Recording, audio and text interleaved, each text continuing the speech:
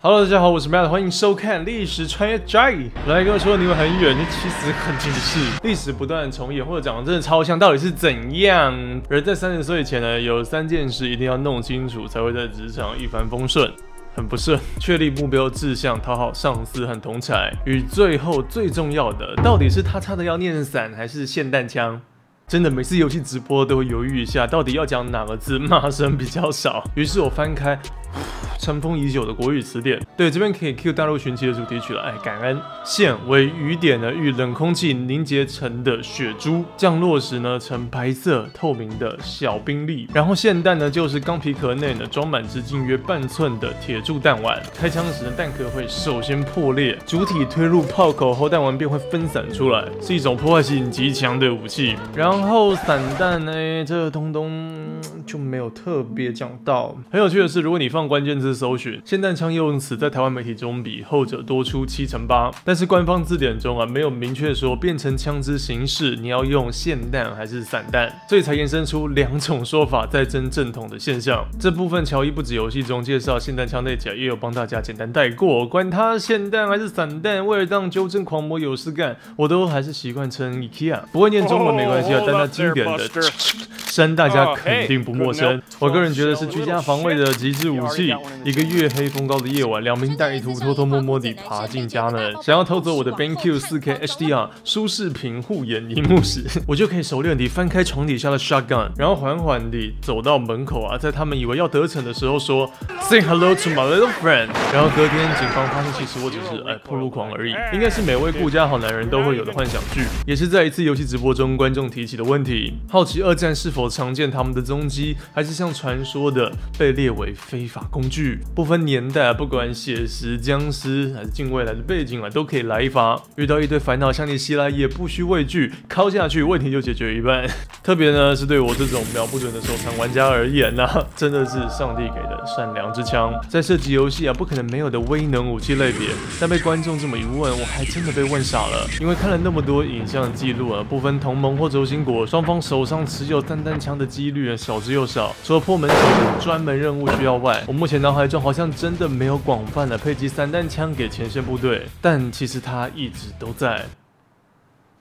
像是游戏《战地风云五》游戏中使用者没人抱怨，但接收方怨声连连的 Model 三七哦，它就是根据伊萨卡压动式散弹枪的二创，以雷宾顿十七基底所做的改良。这间位于纽约州的枪械公司，要等到白朗宁啊不会告他们侵权后才敢问世，时间也就来到二十年后的一九三七开始量产，主要在国内的警方和射击运动市场获得广大的成功。不止游戏里面大家爱啊，现实生活中也是，参与二战、韩战和越战也成了首。都把二战前问世到现在二十一世纪都还有在生产的 Pump Action 敲处，距今已经有两百多万把冲出封锁线。说到 Browning 的这位武器狂人，他的发明啊就肯定会在美军清单中出现。游戏中名为自动化 12G 散弹狗哦，我说的是散弹枪，抱歉啊，被拿这类武器干掉的粉儿，现在很难以下咽。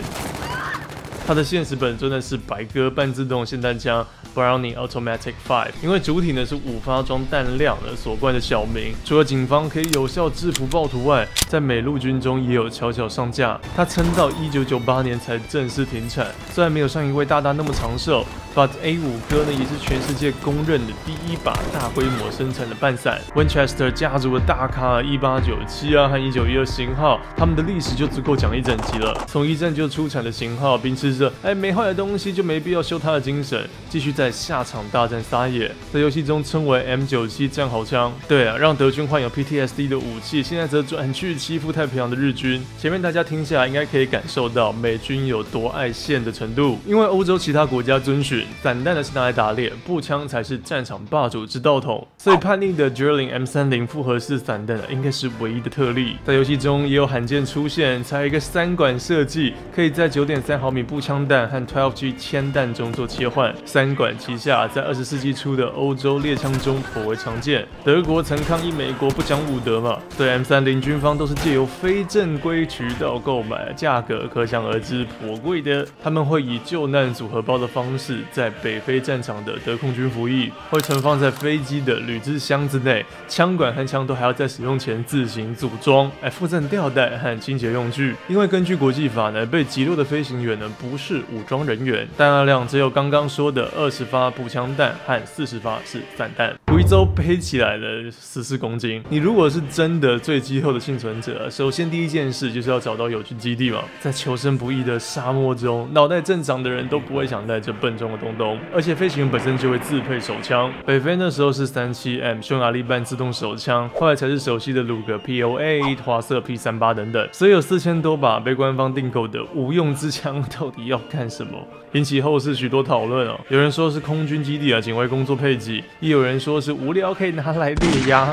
看了许多资料，我觉得这个解释啊最得我心。大家都知道空军头头呢，戈林有打猎的癖好，那么大的人物，当然每次参访枪械工厂啊，都会有工商品啊当做见面礼，所以他自己呢有许多复合式枪管珍藏，其中就包含我们的 M 三零。我闻到一点官商勾结的味道，有可能是歌林啊和少华公司老板私底下就会相约打猎。他妈的，有点北极。谈生意啊，谈国家大事。那时候空军呢正意气风发，豪迈定个几千组来帮老朋友一把，不为过吧？然后真的批发下来，也可以给空军飞官啊作为贺礼，摆在家里都好看。这一切当然都是我自己的幻想剧，没有资本记录。不过能有这么大的影响力，将这不切实际的计划给执行的人，大概也就是他的位置才办得到。不管如何，这把武器也是德军啊，甚至轴心国唯一在二战官方使用的现代武器。二战由于环境的改变，所以前线。那也很难听到那悦耳的 声响。前面介绍那么多他们的好，但还是不适合广发，主要有两大原因。第一就是相对的过时性。美军最常使用的温彻斯特一八九七都是十九世纪的事了，可能单讲数字没有 feel。福尔摩斯最早的小说短片啊，在一八八七年上架，比他大十岁而已，勉强在一战末能把战壕枪带进室内 CQB 还说得过去。但二战有了冲锋枪这种小巧色素惊人的武器诞生，相比。之下，它更能发挥出火力压制的效果，射程当然也比一堆猪猪啊来得远。美国前期明显有 M 一九二八汤普森，后来引进更为便宜但一样致命的 M 三黄油枪，因此欧洲战场以往大家不足壕沟了，那散弹就渐渐被丢弃。遇到清房子啊等城镇战的问题，他们通常会用手榴弹搭配冲锋枪来解决。所谓的炸鱼薯条战术啊，Fish and Chips，英文军事缩写，拉长来看是对付有人在的建筑物和在市井小巷内制造混乱，一堆手榴弹在屋内引爆啊，比俄罗斯式的人质解救还要狂。我们可以再换另一集啊来讲这古早味的 CQB 城镇战，而且同时啊，短小精干的冲锋枪也更适合配给在武装载具内，提供组员啊贴身防护。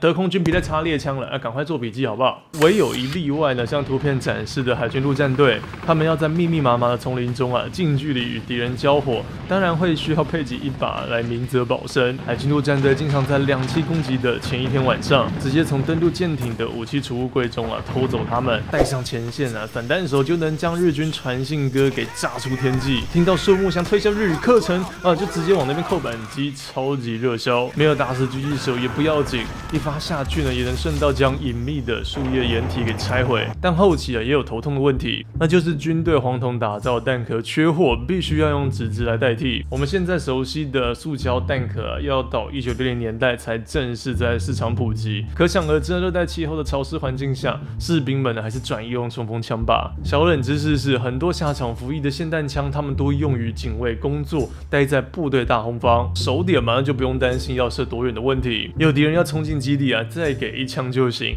如此一来啊，多的步枪就能往前线送。第二十六海军陆战队呢，一名手持霰弹枪的哨兵，在硫磺岛上就曾在黑暗中对两名鬼鬼祟祟的黑影开枪。枪早上才发现是想偷袭的日军。另一个好处是，我们的主角也常作为训练用枪，打定向飞靶可以训练飞行员和机炮组员追击空中移动目标，同时也可以节省主要弹药开销。他们甚至开发出了种霰弹枪塔的模式，让学员练习追目标，真的实际下场了为点五零的防空火炮。介绍完实用性和经济成本考量后，大家应该可以理解二战不普及的原因。但是上场对决中却意外对位，连德军啊都不得不站出。来向美帝大佬出抗议。其实仔细想一想，蛮搞笑的，机枪扫射啊，空中轰炸、啊，毒气，战车也首度被引进，他们皆造成数百万人伤亡，就只有我们今天的主角被人诟病。更讽刺的是，抗议的声音是来自德国，他们有齐柏林飞船轰炸、MGOA 重机枪、九三式 U-boat，每一项皆是杀人利器的工业里程碑啊，怎么也不欠美军出来拷贝一下。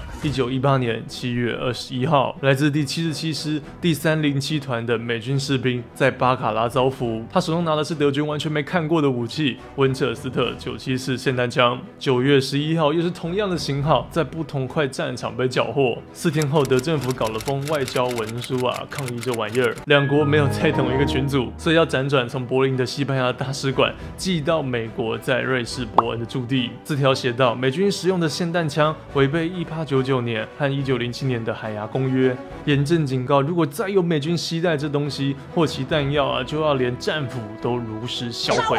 虽然美国官方人员是到快十月才收到这则讯息，但白宫高层向国务卿罗伯特兰辛啊老早就有准备。美国陆军法属总长写了长达五页的备忘录，怕你不想花时间读完了，他们开门见山就写：霰弹枪的目的呢非常显而易见啦啊，就是拿来杀人和伤人的。撰写人安塞尔准竟然认为德国人会那么不爽，是因为事发几个月前呢，科学美国人杂志以这样的方式是描述，说霰弹枪啊为新的美国利器啊，能有水平九英尺和垂直约三英尺的破坏力，因此要 miss 掉传统德国大规模步兵阵都难了。安塞尔也提到啊，这你们。讨厌的东东也能拿来打信鸽或激发还没引爆的敌人手榴弹，但他们主要的目的还是在战场上发出致命一击，确保在短时间内让近距离冲锋的敌人诶 停止行动。人家这位准将至少也是法学士毕业，要打官司当然奉陪。搬出海牙公约第二十三条，禁止使用了旨在造成不必要痛苦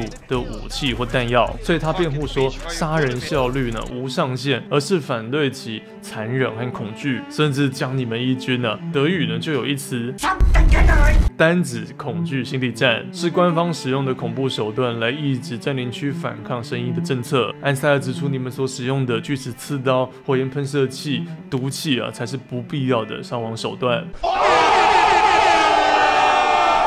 美军霰弹枪从欧洲登陆后的第一场战役就初亮相，一开枪啊，美国军队在近战中就获得重要优势。十二口径霰弹枪配备二十英寸枪管、吊索和刺刀柄，还有一个穿孔金属隔热罩，即使枪管过热握不住，士兵们还是可以照样啊操起刺刀杀敌。训练有素的士兵连敲起九七式，可以在几秒钟内打出六发组合拳，每一次出击呢就是五十四颗八点四毫米散弹，扩散至方圆四五十公。